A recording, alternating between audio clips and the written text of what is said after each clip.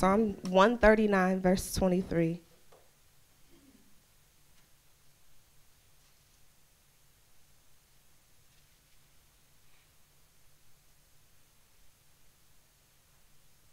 And I'm going to read out of the New Living Translation, so follow along with whatever you have. And it reads Search me, O God, and know my heart. Test me and know my anxious thoughts. Point out anything in me that offends you, and lead me along the path of everlasting life. Search me, O God, and know my heart. Test me and know my anxious thoughts point out anything in me that offends you, and lead me along the path of everlasting life. So far, the reading of the scriptures. Tonight, we're going to talk about the reality of intimacy. My goal in tonight's message is to revisit all the messages that we've had so far on intimacy so that if you've not heard any other or if this is the only message that you hear on intimacy, that you get a full picture and a full understanding of what God has been saying in this season and what He's going to continue to say. Intimacy is a closeness um, and, of an observation, a, a, deeper knowledge of a person or a subject or a thing. Um, what God has really been saying in the season of intimacy is that I want to know you, and I want you to know me. I want you to know me fully and completely and inside and outside and it it translates both ways. He wants us to say the same to him. God, I want you to know me. I want you to know all of me. I want you to know the depths of me, the ins and outs of me, the good, the bad. I want you to know me. And that is the intimacy that God is craving and that is he's calling for in this season. We've been talking about intimacy from so many different perspectives, drawing closer to God and falling more in love with Him. Um, we've talked about intimacy from the standpoint of being intimate in our worship and opening ourselves up.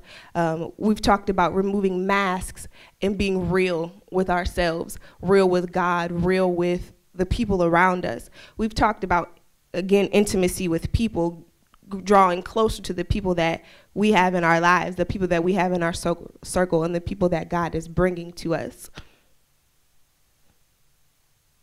God wants intimacy with his people, and it's not just to have a thriving relationship. He wants us to he wants to be able to develop us. A lot of times we've stopped at intimacy with oh, I just want to be closer to God. I want to know him and be deeper with him, but we don't realize that in that intimacy God is doing something he's developing us on the inside. He's renovating and doing things in us. He's making us more like him. And that's what this season of intimacy is about. We cannot accomplish this level of intimacy just one way. Intimacy is with God and with people. Pastor Sean talks all the time about how the cross is vertical and horizontal. Because intimacy requires both ways, you cannot neglect one for the other. You cannot have a good relationship with God and a bad relationship with your brothers and sisters, a close relationship with your brothers and sisters. We talked about in women's ministry, and I thought this was phenomenal about how we are trying to be intimate with one another in glass boxes. We can see what's going on in each other's lives, but we are not close enough to touch. We're not close enough to be able to be in in and out of each other's life to sharpen each other. So that's a, that's what God is trying to break us out. God uses people to accomplish the things that he wants to in the earth. Anytime you look through the Bible, he's used people. He used people um, when Jesus was a person, he used people um, to spread the message of the gospel. So in this season of intimacy, he's using people to develop intimacy. I can say for certain um, that this season of intimacy has been tough. Uh, it's been really, when you have to look at yourself for who you are and for who God is showing you, the good, the bad, and the ugly, that's hard. It's hard to see the things in yourself that you don't like, the things that you have hidden for so long, the things that have been undercovered, or the things that you've swept over and put underneath un, under a rug, like your bad attitude, the way that you respond to people when they push your buttons, the way that you handle money, the way that you handle your household, everything that doesn't line up with who God wants us to be, those are the things that He's shining light on he's shining light on our hurts, our fears, our depression, those things that we pretend that don't happen. We pretend that it, it's just nothing because it, that doesn't fit the church facade. That doesn't fit who I who I my position in church. It doesn't fit who I think I'm supposed to be, where I'm supposed to be, what God said about me, it doesn't fit. So we hide it and we pretend like it's not there. But this season of intimacy and us drawing closer to God, He's snatching the covers back off of that. It's almost like when you do a deep cleaning in your house.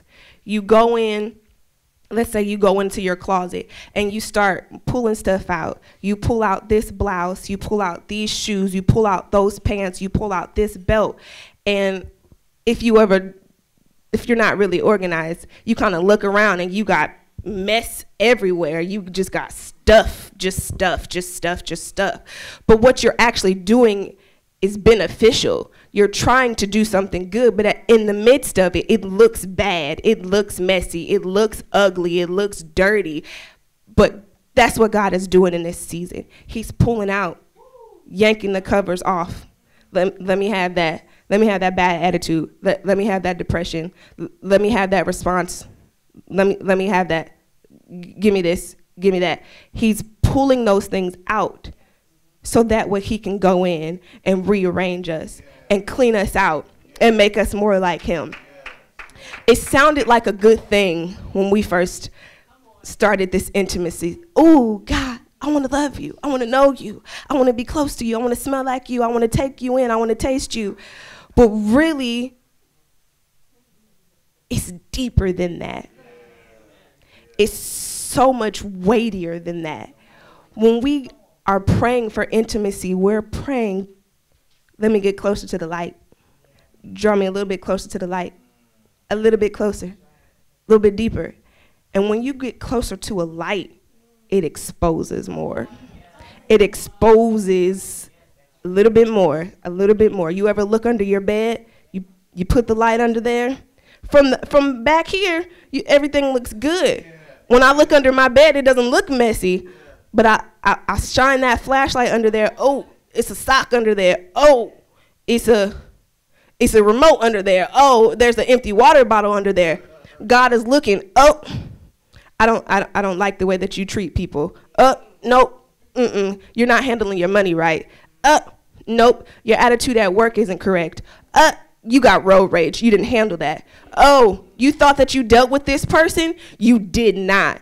God is shining and he's showing those things. And that's it's it's hard to deal with. It's it's uncomfortable to deal with. It, it makes it makes you kind of cringe a little bit. Then that's because we know the fullness of who God is. We know how good and pure He is. And so when I look at me and I don't match up to that, ugh, it just kind of on the inside, it just makes you it, it, starts a turmoil on the inside. You begin to churn and you begin to just a little bit, it feels uneasy. But I want to come and I, God, He gave me this word to encourage you that He is doing something in us. He is doing something in each and every one of you. And as you draw closer to Him in intimacy, He's beginning to shape and mold you. He says, Don't run. He says, Don't squirm. Sit under it. Let me do what I'm doing because in the end, you will be more like me. This is the reality of intimacy. I'm gonna talk a little bit about diamonds. When God began to, I began to do my study, He started to show me, began to take me to study diamonds, and I, I was like, God, why? What does this have to do with anything? But as He began to show me, I began to see what He was doing. So just follow along with me and hear what He's saying. Diamonds are formed by lots of pressure, lots of heat, and very quickly. Diamonds are a hard material, virtually unbreakable. Diamonds have to be searched for. You can't just walk down the street and see a diamond. You have to search for diamonds. The deepest mine known is 3,500 feet into the earth. You've got to go deep to get the diamonds. Deep. Diamonds are cut by hand. They are meticulously picked and cut and inspected to find the best cut and clarity for, the, for a rough piece of diamond. Clarity refers to the inclusions on the inside of the diamond. Um, when you take a rough piece of a rough diamond, when it's pressurized, depending on the amount of heat and the amount of pressure, there are certain things on the inside of diamond that impurities that um, help determine its value. When diamonds are looked over and cut, it's to bring the highest value or brilliance. A diamond that is higher in, in the clarity scale will be more brilliant because it doesn't have inclusions to impede its ability to reflect light. So, what am I saying? I said all of that. What am I saying?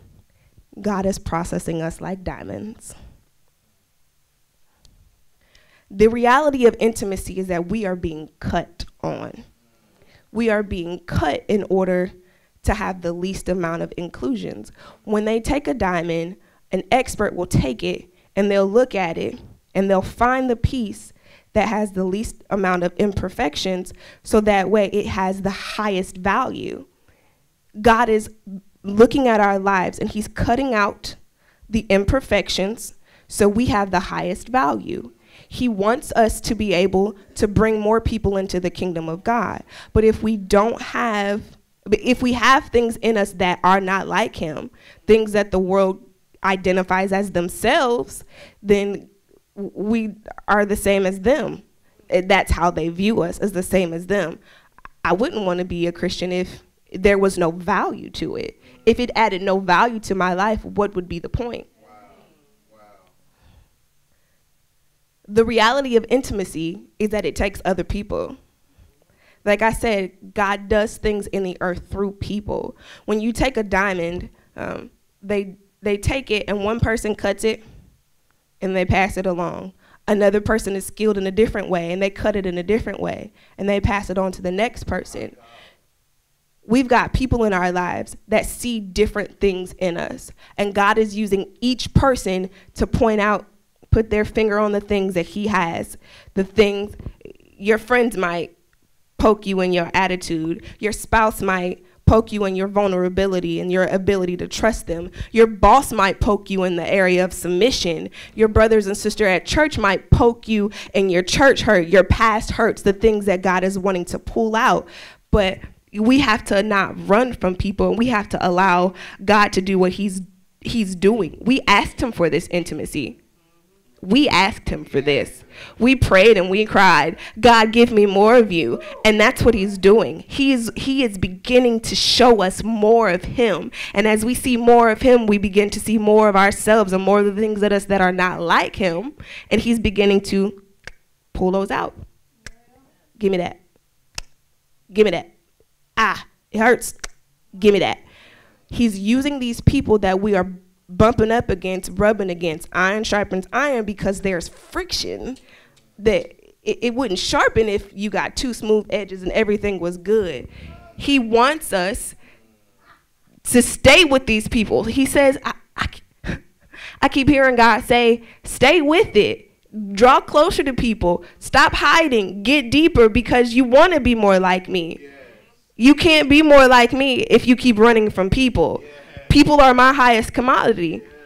Not everybody is going to agree with you. Not everybody is going to like the things that you like. Not everybody is going to tickle your fancy or sing your praises or be be all in your face. He says stick with it. He says stay with it because I'm doing something in you. I'm making you more like me and these people that I have in your life in this season are for that purpose.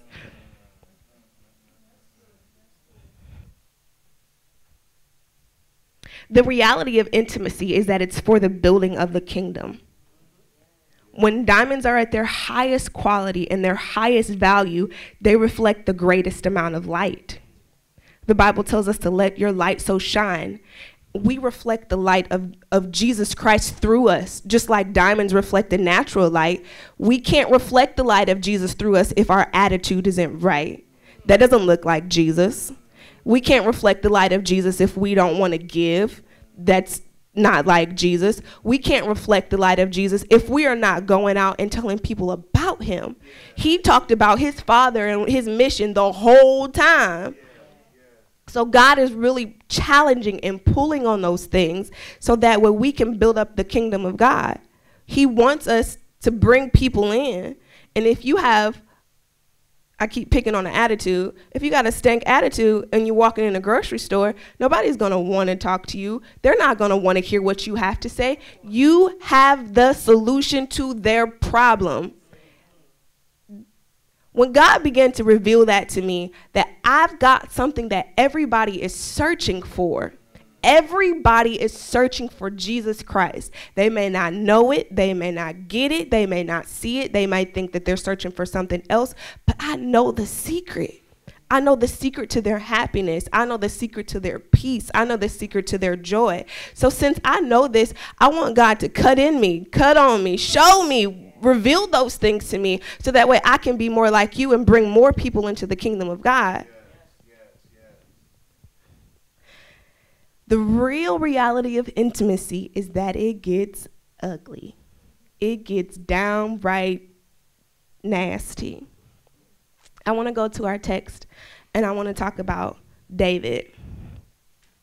I love David. David is my favorite character in the Bible because David was human. He I, I feel like I can relate to David more than anybody else in the Bible. David wasn't perfect, but David chased after God. David had his issues, but he didn't stop. He pursued God. He pursued God with every ounce of his being. He pursued God even when he was mad at God, when he was hurt by God, when he didn't understand God. David pursued, and that's because David understood the reality of intimacy. Wow. David had gotten something, he had gotten a revelation of this intimacy with God. He he understood that when he, he began to pray, Search me, he understood that there was a cutting process. If you look earlier in the text, in that same chapter, David even already says, You have searched me, you have known me. But he still invited God in. Even though God knows, he said, Come in, search me, know me, cut me, try me, point out anything in me that's not like you. He said, Make me more like you, is basically what he was saying. He said, Look, God. He said, Look, I have an attitude problem. Look, God, I have a fear problem. Look, God, I don't trust you. Look, God, I I doubt your faithfulness. Look, God, look at all this in me that's not like you. But here, you can have it because I want to be more like you. He said, Here, God, you can have it. It's not worth me losing out on intimacy with you. Here, God, you can have it. It's not worth it. It's not worth it. None of the things that we hold on to, the things that God is putting his finger on in this season, the things that he is calling forth and calling out of us in this season, none of it is worth holding on to. That we sing that song, Pursuit, and it says that you are worth the pursuit, but he's also worth the things in us that we hold on to. He's worth the things in us that we begin, that we, our security blankets. That's what they are. They are the things that we, we find comfort in. He's worth all of that. He's worth giving it up. He's worth turning it over to him. He's worth he's worth just laying it bare and, and letting him shine a light on it and letting him consume it. We pray, God, consume me, but then we hold things back. How can he consume you if you are holding on to this piece? It's like when you play Uno and you got that draw four behind your back because you don't trust the people that you play with or you want to come out with this last piece. He said, No, put all your cards on the table. Yeah. He said, put it all out there. Let me do with it what I'm going to do with it. The picture that you have of yourself doesn't compare to the image that I see you. He says that I am doing something in you and I am developing you, but I can't develop you if you don't invite me into your search. You don't invite me into this process. Nobody wants to hurt on themselves. Nobody will give themselves a shot. I'd prefer to have a nurse give me a shot because it hurts me. So God, come in. Come hurt me. Come hurt hurt me real good. Come take this. Get it all out. That's what he wants from us. That's what this intimacy is calling for. It's not just the foo-foo, the pretty, the I'm gonna sing God some more love songs. I'm gonna lay on his chest and let and cry a million tears of intimate worship. And it's it's deeper than that. It's God, I want to be like you. God, I want to be like you. God, I want to be like you. I want to know you and I want you to know me. I want you to know all of me, all of me, so that way you can have your way. God is the master surgeon. He, he, if you ever go to a doctor, they diagnose and they treat. They don't ask you to treat when they diagnose it. They, they point out that this is wrong with your knee. Let me do that. This is wrong with your heart. Let me do that. This is wrong with your brain. Let me cut on that. God is a master surgeon. He can diagnose and he can treat, but he will not treat unless you allow him to do it. He will not treat unless you invite him in. Jesus died for us to have this level of intimacy. This is what Jesus died for. This is one of the things that he gave us. And I refuse, I refuse to not get everything that Jesus died in my place for. He, Shavana was worshiping earlier and it just hit me again. I mean, it's one of those things that you know, but when you hear it again, that he died in my place. He died for me. He took all the lashes and all the whips and all of everything from me so that I can have the benefits. I can have the benefits of intimacy. I can have the benefits of being more like him. I can have the benefits of being able to draw people into the kingdom of God so that they can see Christ in me. They can see God developed in me. I want all of that. So God, I give it to you. I am I am inviting you in. The reality of intimacy is a true awareness of who you are and where you are and what God is doing in you. It's a reconciliation between who he wants us to be and where we are now. He's, he's, he's beginning to balance the books. He's beginning to pull things off the scale so that way things match. He's beginning to add to us value. He's adding value to us. He wants us to be more like him. He wants us to be valuable. He wants us to be a light in the dark places. He wants that his light to shine through us so that when the world see us, they are drawn to us. They're drawn to the sparkle and the glimmer and the shimmer of the Christ in us. That's good. They're drawn to the, the love that we have for one another. They're drawn to the love that we have for them. Unconditional love. The, for no reason at all. I don't have to know you to love you. Christ loved us before he knew us. The reality of intimacy is that it hurts. The reality of intimacy is that it gets ugly. The reality of intimacy is that it takes other people. But the reality of intimacy is that it's worth it. It is worth everything that God is asking you to give up. Amen.